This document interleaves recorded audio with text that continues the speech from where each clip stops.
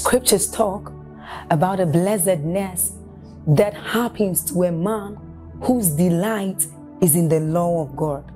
So, as 1 says, it says, But his delight is in the law of God, and doth he meditate day and night.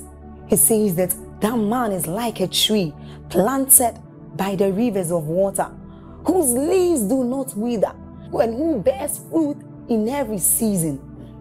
As you're about listening to this message, we believe that your life is going to be like that man planted by the rivers of water. Your leaves are forever going to bear. And we know that your, your season will not pass by. You will forever shine and you will forever bear fruit. We have a lot of content to share with you. So we would entreat you to subscribe to this channel as well as like us hit that notification bell to receive more updates from us because we know that whatever content here is going to set you on course at every time. It's going to make you attain whatever stature that Christ wants you to attain. Thank you. Father, speak to us and grant us grace. Again, oh God, the Bible declares they go from strength to strength as many as appear before the Lord in Zion. Take away shame and reproach from our lives. Grant us grace to advance intentionally. Lord, in this second session, we pray in Jesus' name that our hearts are opened. We have the hearing of faith and even the working of miracles. Lord, once the word comes, let the sick be healed. Let the oppressed be delivered. Let those who have lost things receive restoration. Let chains that have held people release them now. And Jesus be glorified. In Jesus' name. Amen and amen. The Lord bless you and honor you again. Please be seated. Thank you. It's been so inspiring for me, myself, just sitting back and watching the other aspects of the service, the testimonies, and every other thing. It is good that we devote time to spend in the presence of the Lord to grow, to be built, to be established. The Bible says, They that be planted in the house of God, it says, they shall flourish in the courts of our God. Then it says that even in old age, they will be fat and they will be flourishing. This final session is one that I believe will inspire and bless us in no small way.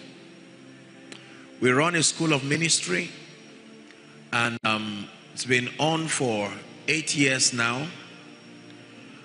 And in one of the courses, I teach the students on the concept of fulfillment. And the Lord just placed it very strongly in my heart to just speak a few words along that line.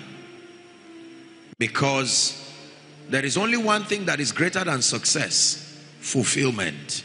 If you are successful alone and not fulfilled, you are still a failure. Hallelujah. So we're going to discuss fulfillment uh, for a few minutes. Now, this session is divided into two. The first half of it will be spent just teaching us further and revealing to us by the Spirit of God the keys that will help us to do exploits. And then the second half of it, we're going to pray. Do we love prayer?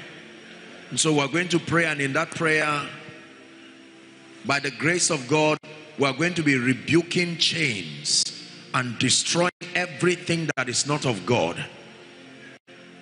It is true that we have tabernacle to teach and to learn, but we must give room for the power of God to come and set the captives free and turn the lives of people around and move people forward. You must go forward. And if our God is for us, then what could ever stop us? And if our God is with us, then what can stand against? If our God is for us, then what could ever stop us? And if our God is with us, then what can Let me start tonight or this session by prophesying to you that in the name of Jesus, the one who died and rose again and the one who sent me here, everything that has kept you in the same position, I stand by the God of my covenant and I declare whatever it is, we scatter it now. We scatter it now by the power of the Holy Spirit. Please turn it into a prayer in one minute. Everything that has limited me, limited my family, limited my destiny, I call by the blood of the Lamb here at this men's conference. We declare be scattered, be destroyed in the name of Jesus. Are there people of prayer here?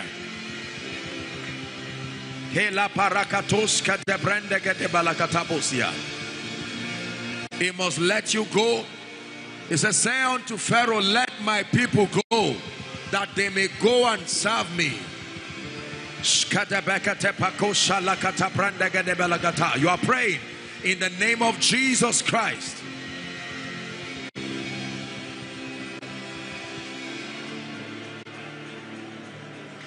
Amen and amen. Please be seated. Please be seated. The Lord bless you in Jesus' name. Psalm 90, verse 12. Psalm 90, verse 12. Please help us, media.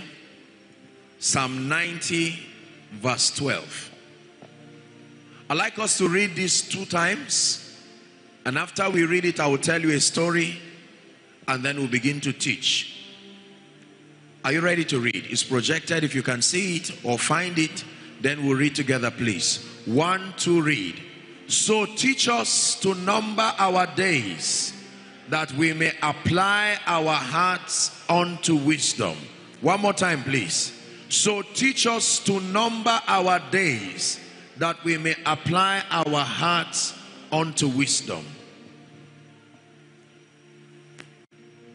One day, I was watching television quite a long time ago, and it happened to be the announcement of the obituary of a man who had lived very old, very long, and it was just a two or three minutes advert, but it struck me so much. I had to develop a program that we now have added to the school of ministry from that one encounter. I think the man lived to be into his late 80s or early 90s, and then he passed on. For whatever reason, the children were able to preserve as many of his photos as they could find.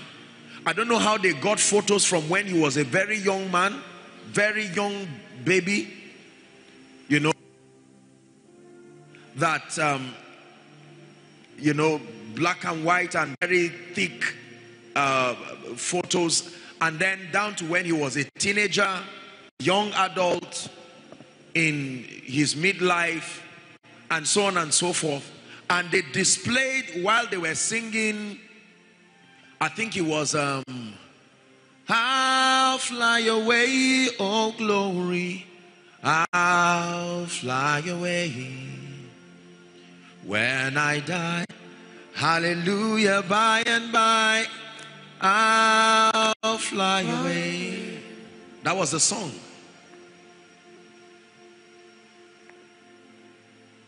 Some glad morning, when this life is over, I'll fly away. When I die, hallelujah, by and by, I'll fly away.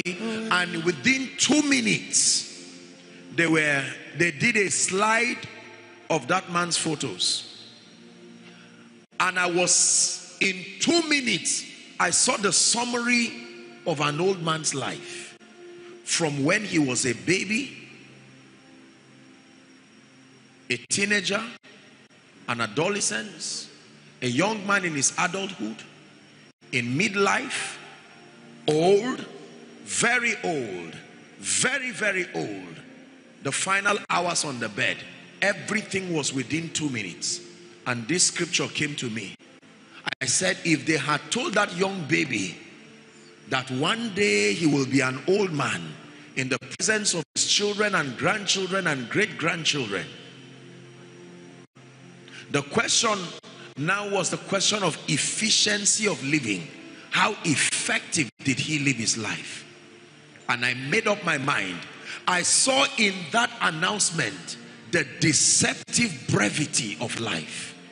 That as old as that man is, if you live to be in your mid 80s and 90s, you are considered to be very old in our context today. And yet the man died. And then this scripture came to me teach us to number our days. That as we sojourn and through our pilgrimage in this life, we will really know the things that matter and not waste our time. I want you to pay attention to everything I will say, everything I will sing, and everything we will do. When it's all been said and done, there is just one thing that matters. Did I live my life to honor you? did I leave my life for you? When it's all been said and done, all my treasures will mean nothing. Only what I've done for love's reward will stand the test of time. Lord, your mercy is so great that you look beyond our weakness and find precious joy in married clay, turning sinners into saints. And I will always sing your praise here on earth and ever after. For you've shown me heaven's my true home when it's all been said and done. You're my life when life is gone. By reason of ministry, I've had the honor and the privilege to mourn with many families I've had the honor and the privilege to communicate condolence to bereaved families. And I have learned a few things about the futility of living life without fulfillment. There are four stages I'm teaching now. There are four stages to every man's life. Every man who is walking upon the face of the earth today, young, old, very young, very old, regardless status, regardless whether you are educated or non educated, whether you are a Christian, Muslim, or anything in between, male, female, black, white, from whatever region Every man under the sound of my voice will have to go through four stages of life. And every one of these stages has an expectation from God and from destiny as far as exploits is concerned. Your ability to maximize these stages of life is what will ultimately culminate into what you call success, fulfillment, exploits and impact.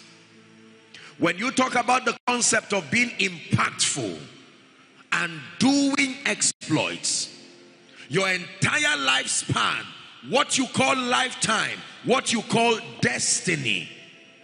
Destiny means your destination in Christ. Write this down, please. The unit of destiny is time. The unit of destiny is time. That means every man's destiny is a measure of time.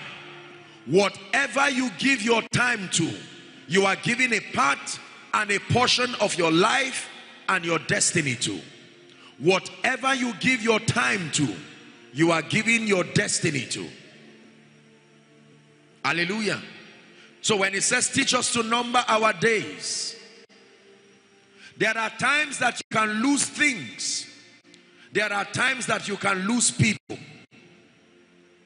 but you really lose when you lose time. Please pay attention.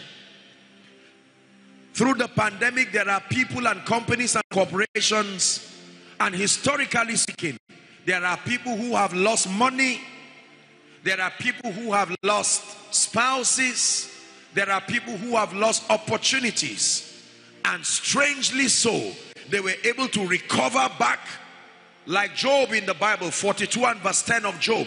It says, And the Lord restored the fortunes of Job when he prayed for his friends.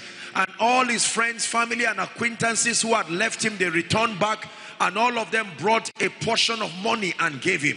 The later part of Job's life was restored. But there is one thing that when you lose, you have really lost time. So it says, Teach us to number our days that we may apply our hearts unto wisdom. Now, please pay attention. I said there are four stages in every man's life. Stage number one is called the morning stage of your life. Morning from the word good morning. Morning. M O R N I N G. The morning stage of your life. This represents the first 25 years of every man's life. The morning stage of your life represents the first 25 years of your life. From age 0 to age 25 is the morning stage of a man's life. Another word for it is the learning stage. This is the stage where you are given room to prepare for destiny. This is the stage of your life where you can make mistake and life will forgive you.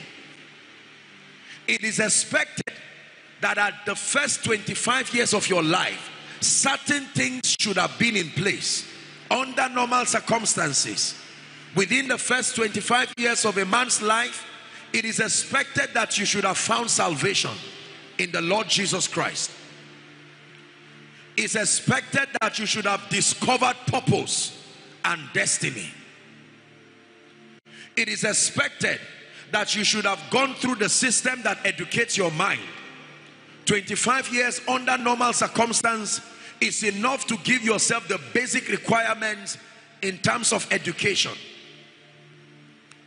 Under normal circumstances, it can also be expected and allowed that within the first 25 years of your life that you are already supporting a family. Please pay attention. Are we together? It's called the morning stage of your life.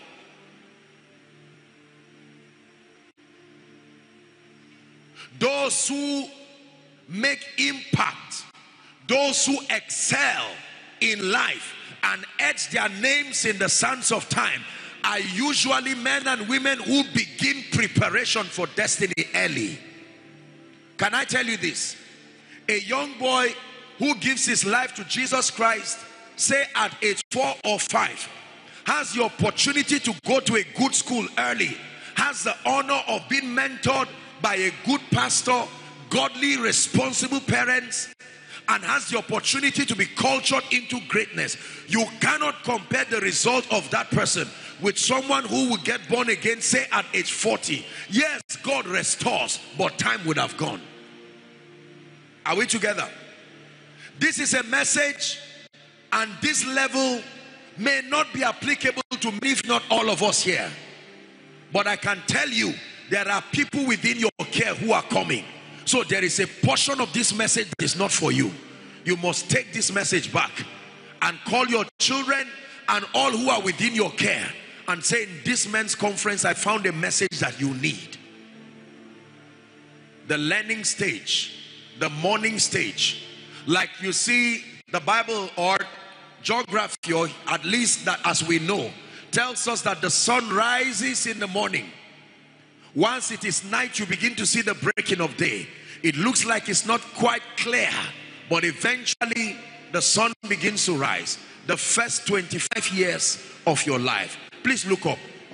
The most trouble in people's lives starts from this time. Most carelessness, God forbid.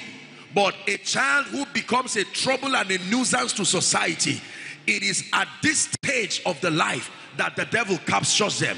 Occultism, all kinds of decadence starts at this stage of life. Lamentations 3:27. Please give to us. Lamentations 3, let's pray please. Lamentations chapter 3 and verse 27. The book of Lamentations. Please read with me if you can find it. Now that it's projected, if you can see it. Ready? Together, let's read. One to read. It is good for a man that he bear the yoke in his youth. The yoke of destiny, the yoke of prayer. If you find a man of God who is vibrant and serving God, he utilized the morning stage of his life in fasting, in praying, in discipline, in diligence. Let's look at the life of Jesus. At age 12, when his colleagues and contemporaries were running around like young men who were just getting into teenage, Jesus was at the temple learning and preparing for an excelling life. Hear me.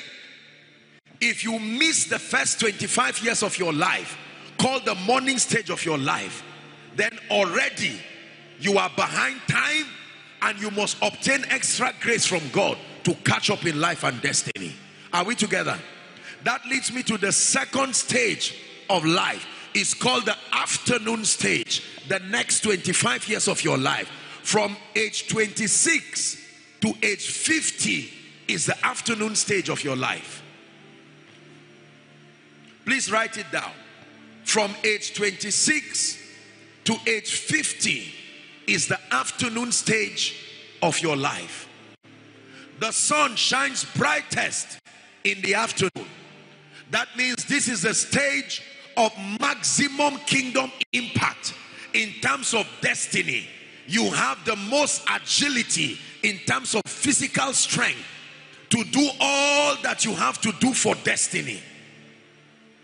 You're a man of God. This is the stage where you have the strength and the energy to travel around the world preaching the gospel. You are a businessman. You are a politician. You are a leader. This is the strength, the stage where you find strength. It's a state of execution where the things you have learned the first 25 years of your life, you now have an opportunity to live by those values, live by those principles. Are we getting blessed? That means a man who gets born again at age 30 or 35, he may still deceive himself that I am a young man. But as far as the unit of destiny, which is time, is concerned, time is already against you. Because it takes time to know God, it takes time to learn the word, it takes time to build a prayer bank that your destiny will feed from. It takes time to build relationships. There are people today who are in their 30s, 40s, 50s who are still going around saying, I still have time. I still have time. No impact. You're not changing anybody's life. There is nobody who is rejoicing because you are alive. The afternoon stage. I must walk the works of him who has sent me while it is day. Why? For the night cometh. Not may come, it will come. Are we still together? Find out most of the people who made impact in history and even in the history of our nation. Find out those, most of those who led during the military regime, most of them led as a 30 or 40. They were already in the helm of affairs. Do you know there is a spirit in Africa that we must cancel the spirit of lateness. It, it looks like it's a cause when you achieve things early. If a young man builds a house at 23, people say, Where did you get the money from? If a young man is able to raise people and bless people early, it looks like there is a curse. We break that curse in the name of Jesus Christ. How many of you have seen? Please, I'm not getting you emotional, but some of you here are parents. How many of you have seen young men in their 40s, 45, still staying with their parents and inconveniencing them and believing they are entitled? A 45 year old man still calling himself a child.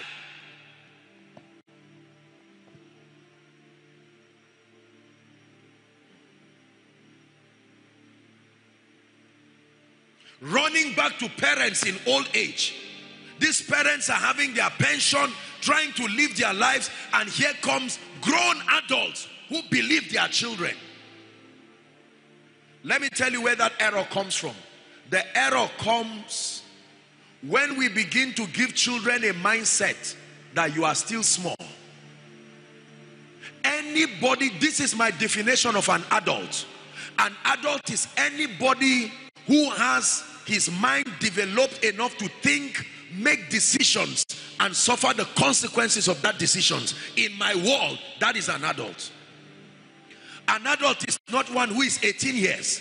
The moment you sustain the ability and the intelligence to make decisions that have consequences and you are matured enough to face the consequences, you are an adult.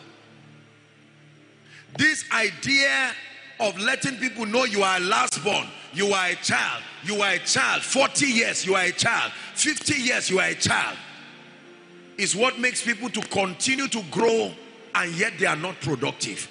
If I'm offending you, I'm sorry. But if you are with me, say amen. Are we together? The afternoon stage. Very quickly, let me talk about the next stage. It's called the evening stage.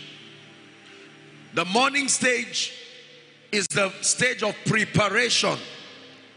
The afternoon stage is the stage of execution. The evening stage represents the next 25 years of your life. From 51 to 75 is called the stage of legacy and consolidation. The third stage, which is evening, at this stage, the sun is already going down. It's called the stage of legacy and the stage of consolidation. From a human and a biological standpoint, from 51 years down to 75, you may not have the kind of physical strength, you may not have the zest, the physical energy that a young man would have. It is expected that at that stage of life, you should have spent your life impacting your world, blessing humanity. It is at this stage you begin to build institutions that preserve your values and outlive you. That is the stage where you begin to document your persuasion it is expected that at that stage you should be so successful, you can now turn back from the lens of your experience. You can begin to mentor the younger generation coming, showing them the pitfalls, the things that you saw, the mistakes you made, allowing them to see your scars so that they can correct their ways. Here's how it works. Please look up. Young people have time, but they do not have wisdom and experience so they waste time. Old people do not have time, but they have profound wisdom and experience. Mentorship becomes that platform that adds wisdom to the time of the young man. Are we learning?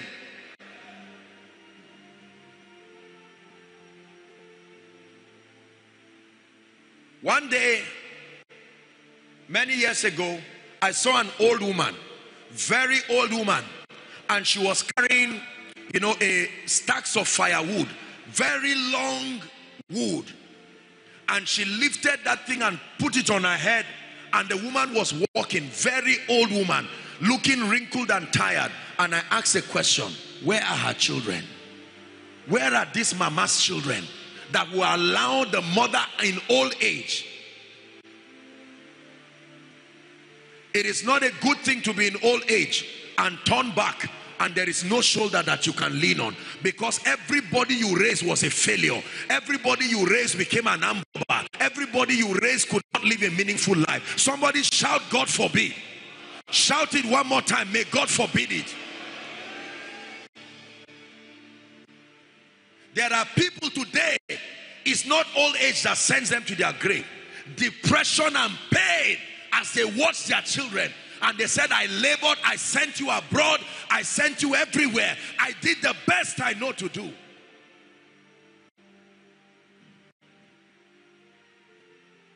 While I'm speaking, there may be some of you right now who are going through this pain because your children currently, biologically, or those under your care, may be a description of the list that I'm stating.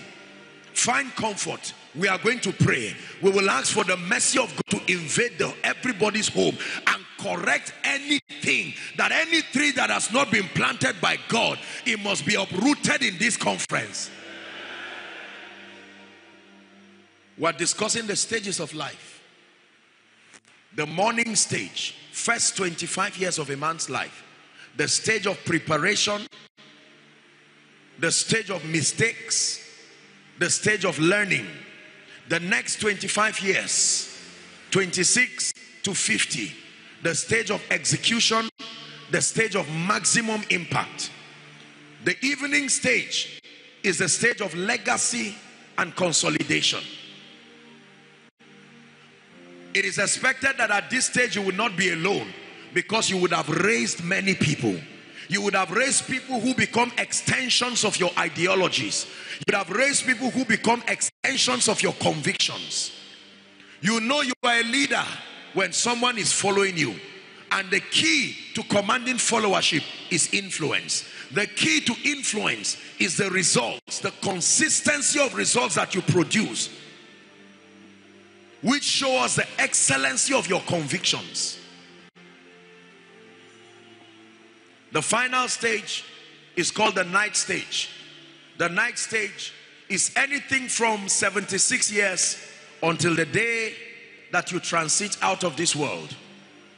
From 76 years is called rest, is the night stage. Night does not mean you are dead. Anything from 76 years, you should have given the world everything that you were sent to do. According to God's design, if you utilize your time well, by the time you clock 76 and further, you should have given your all and your best to creation. God now gives you the honor to turn back and reap the fruits of your investment. Can I tell you this? Respectfully speaking, and with every sense of honor and regard every one of us seated here under the sound of my voice belongs to one of these four categories right now. And the Holy Spirit, even as we seek to do exploits, is helping us to assess our work. If you are between 0 to 25, what have you done? Are you spending time learning? Or you're allowing the devil waste away your destiny. Most people receive Jesus Christ very late in their life and they don't have the time to learn and make any impact. Most people discover purpose late, if at all they discover it. They are unable to do much. Why am I sharing this with us? Because impact is a product of time and is a product of destiny. And we must obtain grace from God to know what stage we are in now. So that if you wasted first 25 years of your life and maybe the second stage of your life, you can use this third stage and obtain grace from God and catch up. Restoration is a possibility. Are we together? Yes. Now, can I use any two of you? Come, my friend, come. Let me use this gentleman. You come, you come, please. Quickly, just come, stand here and stand here. Everybody, please watch. My friend, you stand here. Let's assume that this man is 45 years. Everyone say 45 years. Let's assume this one is 21 years. Everybody say 21. Now, assuming they are friends, two of them are friends for whatever reason. This young man has an opportunity to be lazy, unserious. He can play games with his life. He can still repent. He's still within the first 25 years. But this our man here is already 45 years. He has already missed and even wasted a first portion of his life. Do you think they should behave the same way? Who is in a more urgent situation? So by the time this one is hanging around with friends, just laughing away his destiny from morning till night, is it wise for this man to join him in the name of relationship? This one already has probably four children, already grown, no bills for their destiny. He's making a mistake. Those children are about to be armed robbers because of pressure. This one is still battling with his studies. He will get to campus and meet a fellowship four square there. He will give his life to Jesus and repent. Before graduation, he will become a responsible man. But this one already, there is already an emergency. This one is not yet married. He has the opportunity to correct mistakes. This one already has a wife and children. Who should be more serious about destiny? And we will never settle for less. We know there's more that's found in you. And we will never settle for less. We know there's more that's found in you. It's in you, Lord. It's in you, Lord. We know there's more that's found in you. When Kofi Annan was UN Secretary General, he made a statement during Children's Day. He said, Do not allow children suffer the consequences of the carelessness of their parents.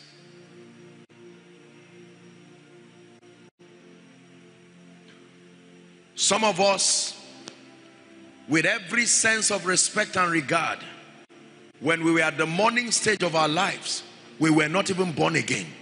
We had not met Jesus. We were still in idol worship, living in sin, living in all kinds of things. I'm not here to condemn you, no, but I'm to show you the urgency of the moment. If you get born again at 40, it will take another five to six years under proper mentorship to understand the ways of God. If you happen to stay in church and you are under a sound pastor, before you begin to learn on prayer, on fasting, on giving, on responsibility, it takes time to learn these things. Why am I teaching you this? Because there are some of us with every sense of respect who are afraid of disciplining our children. For many people, we feel and, and with every sense of respect and regard.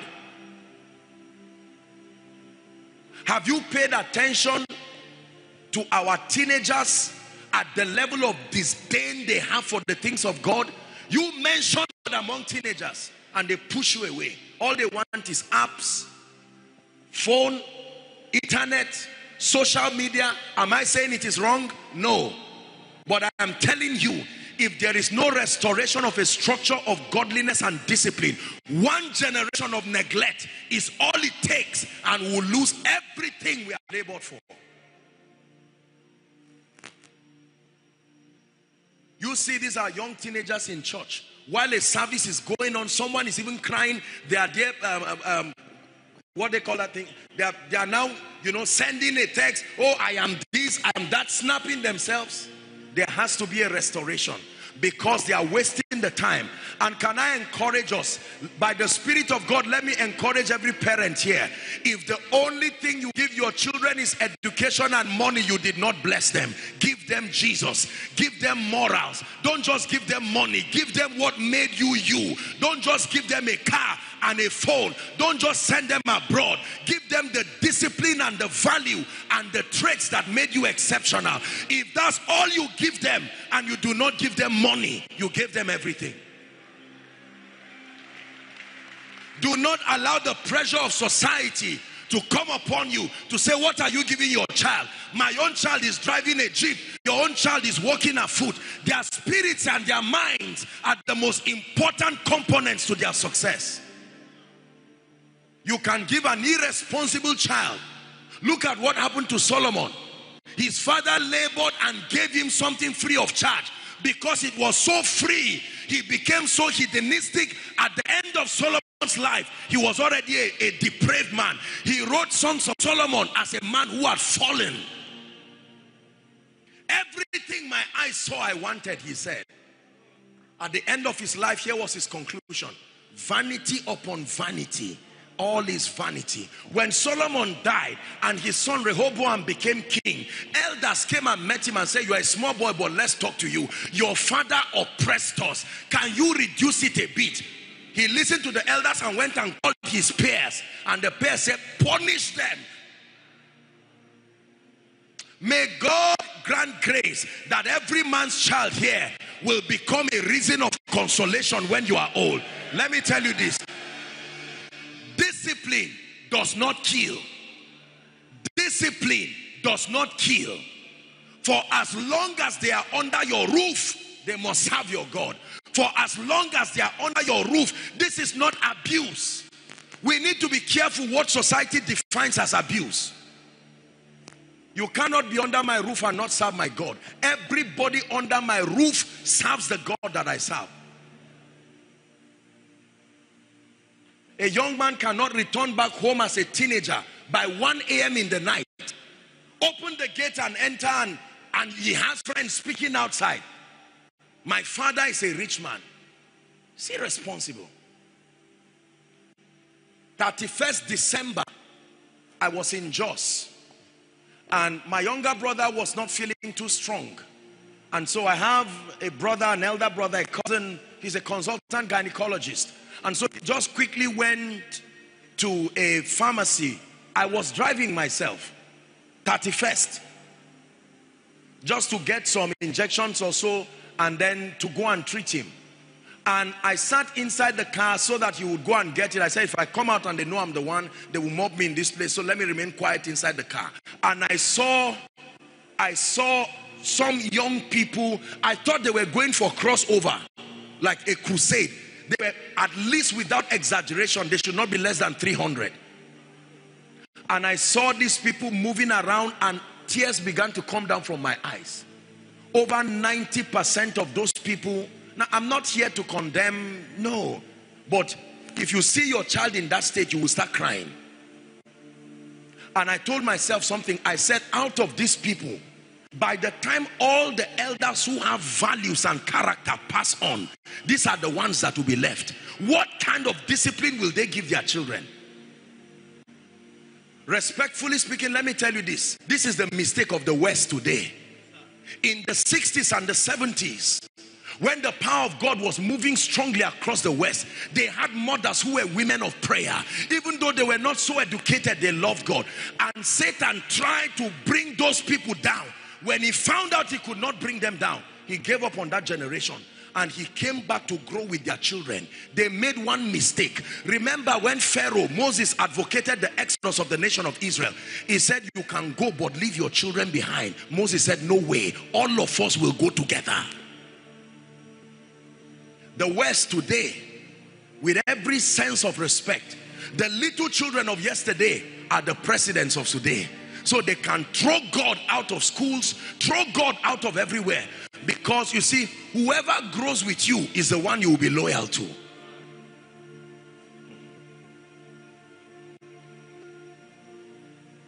As for me and my house, someone prophesied, say, As for me and my house, we will serve the Lord. Say it with intention, as for me and my house,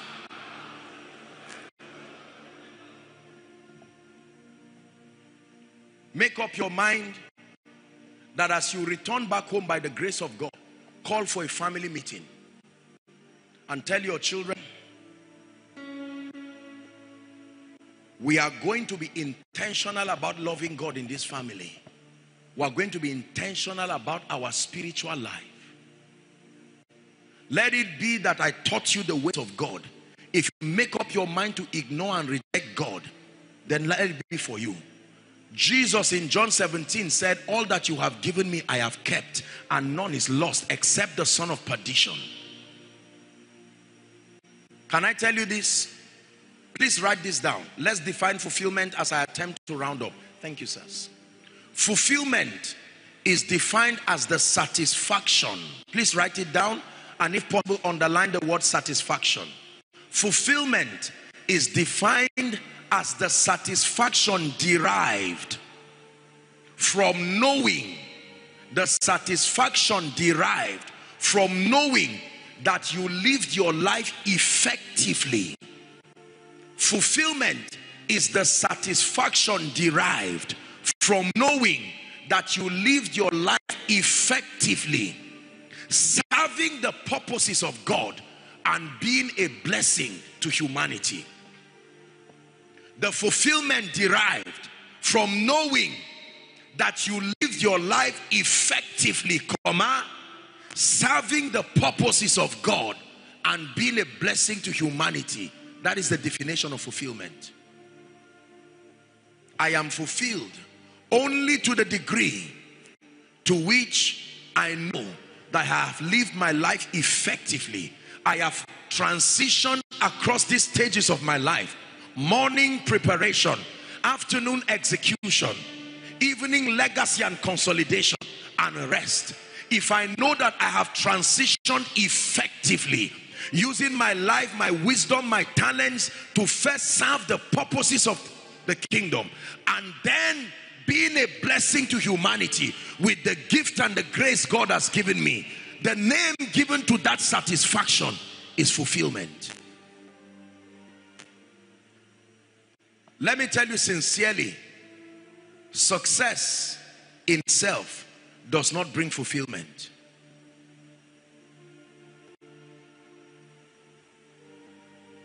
There has to be satisfaction that money cannot buy. There has to be a satisfaction that awards cannot buy.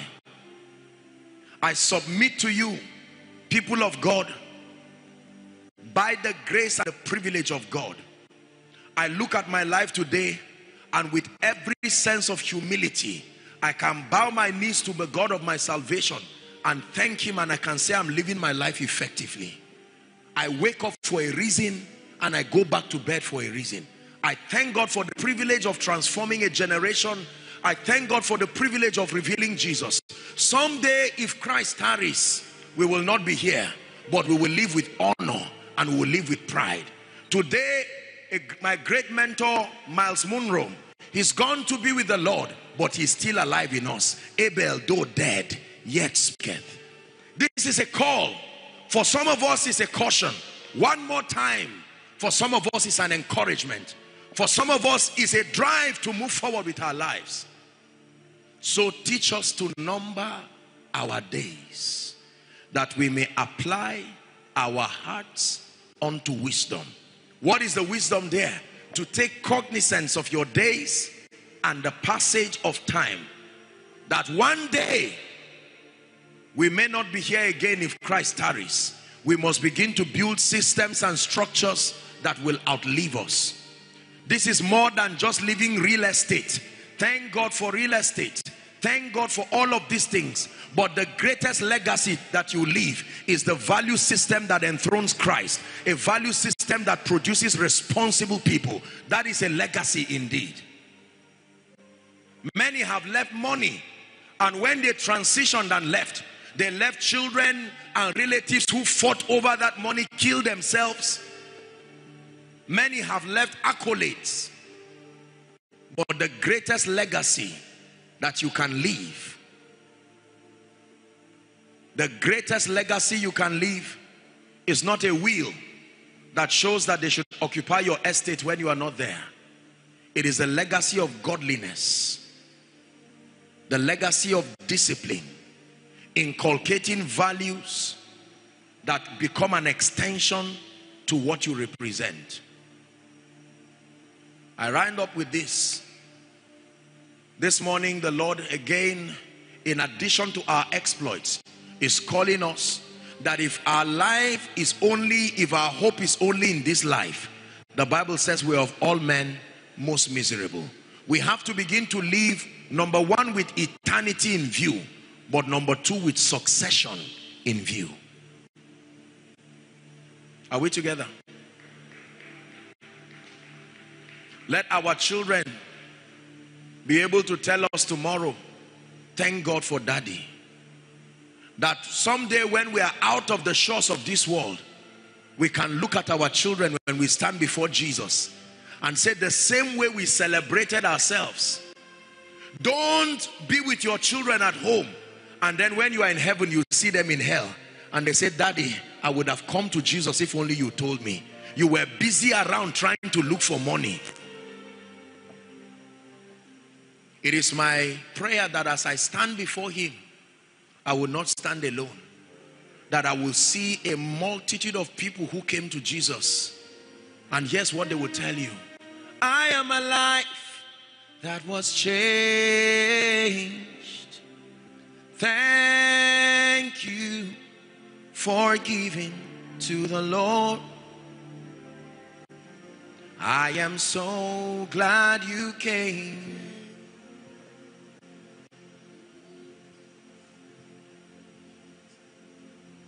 It is time to think about our lives. Let us think about how we are living our lives right now. Ask yourself a question. The way I am going about my life, will my children be blessed? My final words for you in this session and this conference live by three principles. Please write it down. Number one, the fear of the Lord. You want to do exploits in this kingdom, you must be governed by the fear of the Lord. It's called Yirat Adonai, the fear of the Lord. The fear of the Lord is the spirit of reverence. The fear of the Lord. Number two, conscience. You must live by conscience. As you treat your children, as you treat your workers, as you treat your subordinates, conscience. Number three, a sense of posterity. You must live by these three factors if your life is to be efficient. Again, I repeat, number one, you must live by the fear of the Lord. Number two, you must live by conscience. Number three, you must live with a sense of posterity.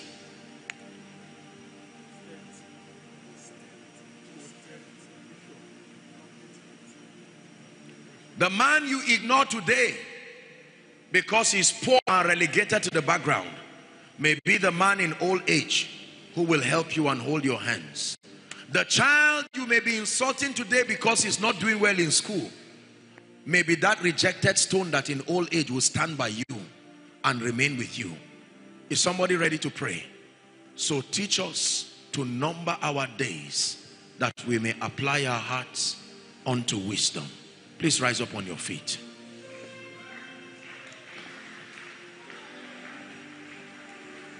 For the way of the Lord is the way of wisdom.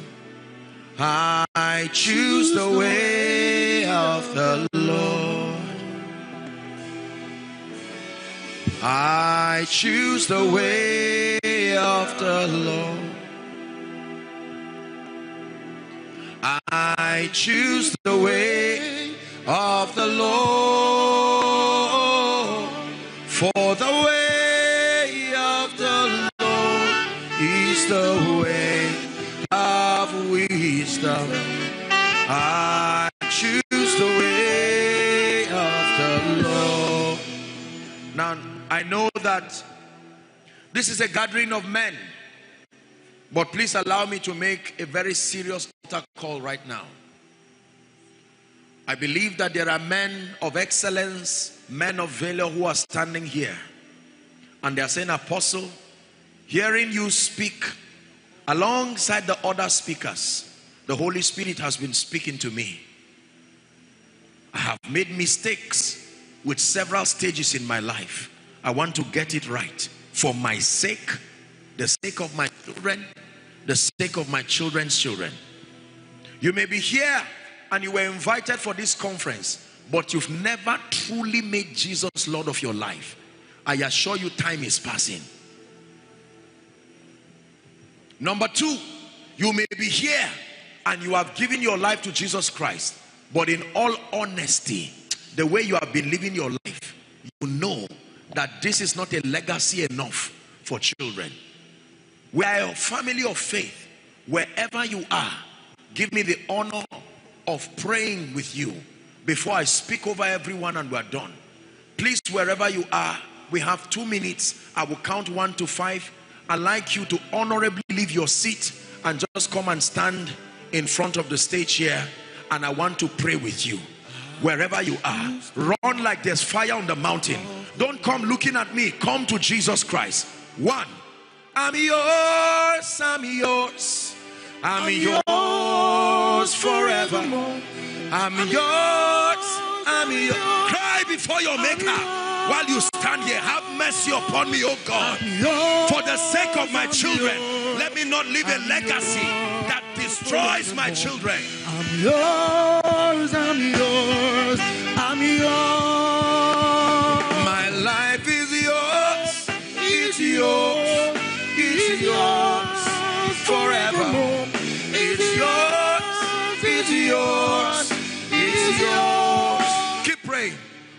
Whatever you ask of me, whatever you ask of me, I surrender. Oh, there are men who want to surrender to Jesus. You are not the only head of your house. Christ must be the head of you to be an effective head.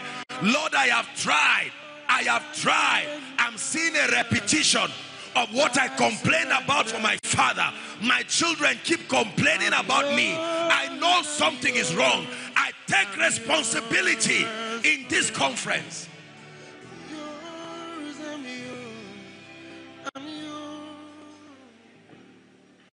Are you praying? Everyone, please let's join them as we pray. Just spend two, three minutes alone with God. Alone with God. We are not praying as a crowd. Every man before his maker. Lord, search my life. The way I am living, transiting through these stages of my life.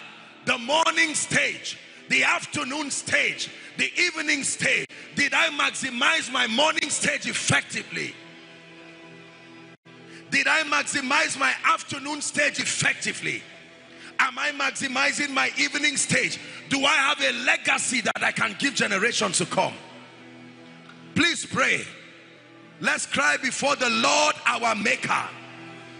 One, two minutes, and we're done.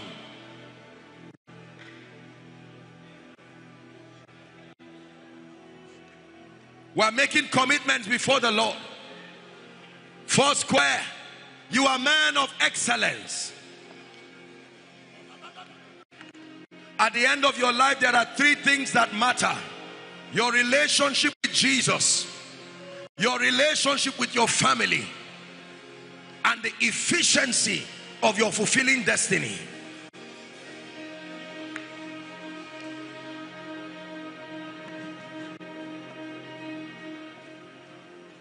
Hallelujah. Now, please listen to me.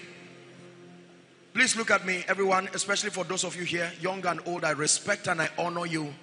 I'm going to separate you into two categories. Those who have never given their life to Jesus Christ and are saying, Apostle, I want you to lead me to Jesus Christ. Please move to my right, which is your left, just right here. Move here. And then the remaining people are like you to move here. Please quickly, let's celebrate them as they do. If you are in that category, just remain there where you are. All those who are giving their lives to Jesus, can you move here? Just move here. Let me be with you. Every man here, we are going to sing one song. You will hear me sing it once and you will join me. Let it be a pledge that for the rest of my life I will be a successful man, but I will not be successful alone. I will not only give birth to children and run a family, but I will lead them to Jesus in my lifetime. I have decided to follow Jesus. no turning back. No turning back. I have decided to follow Jesus. No turning back. No turning back. The cross before me, the world behind me. No turning back. No turning back. The cross before me, the world behind me. No turning back. No turning back. Are you ready? I've decided. I have decided to follow Jesus. No turning back. No turning back. I have decided to follow Jesus. No turning back. No turning Though men forsake me, still I will follow. No turning back. No turning back. Though men forsake me, still I will follow. No turning back. No turning